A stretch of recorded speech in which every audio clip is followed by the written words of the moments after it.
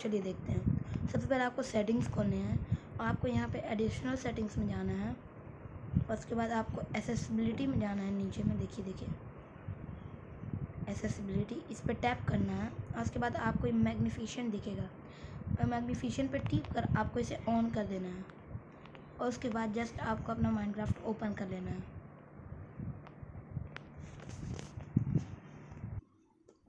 तो जैसा आप देख सकते हैं ये हमारा माइनक्राफ्ट का वर्ल्ड चालू हो गया है। अगर आपको यहाँ इसमें जूम करना है तो बस आपको अपनी स्क्रीन पे तीन बार टैप करना है लगातार वन टू थ्री और ये देखिए, आप कहीं भी जूम कर सकते हैं।